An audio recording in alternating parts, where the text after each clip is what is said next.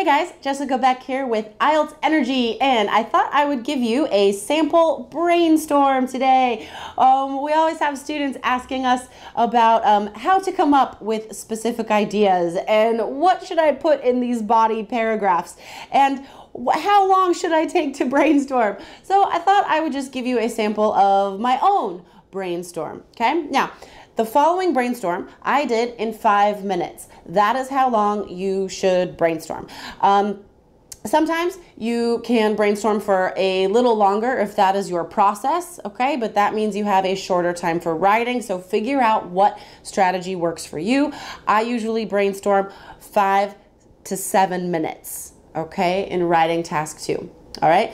Remember, the more specific the brainstorm, the better. And only brainstorm what you need for a paragraph. Do not brainstorm more than that. It is a waste of time. Okay, so the question we are practicing today in some countries, people's eating habits are causing increased rates of obesity and related health problems.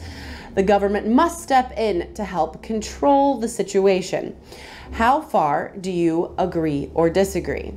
All right, so there's the task two question. Now, um, a tip here, guys in this question, it's not asking you to comment about fast food. All right, that's not the opinion. Read the question carefully. The opinion is about the government stepping in to control people's eating habits. That's the opinion we're discussing. We're not talking about the advantages and disadvantages of fast food. So remember, read the question carefully, identify, underline what you are asked to agree or disagree with. Now, as with every question that says agree or disagree, I will write an argument essay. It's quicker, it's higher scoring, it's more balanced. So in paragraph two, I would discuss the side that said that uh, governments should not step in, okay?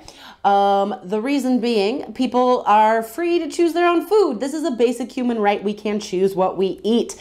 The examples and details to support this. Um, health curriculums in 90% of developed countries include um, uh, classes about nutrition and balanced meals. Now, again, I don't know if it's true. I wish it were. Um, so, but that's a good, strong, specific statistic to put in. And then I would say, um, therefore, adults have. Uh, they do possess the knowledge to choose what is healthy for them.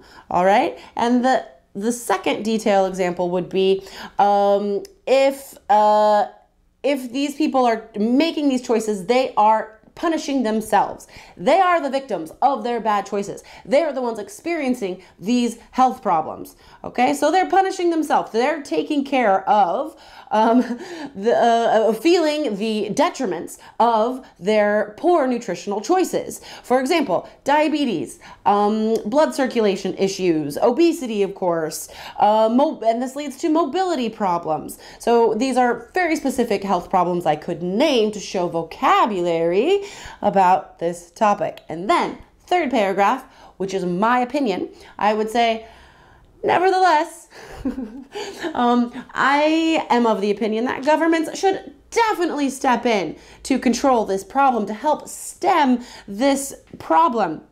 Um, not only are the unwell suffering, but all citizens of these nations are paying as well. They are footing the bill, they are paying the price for other people's poor nutritional choices. Um, example slash detail in the United States, insurance rate, rates are rising by a whopping 15% every quarter.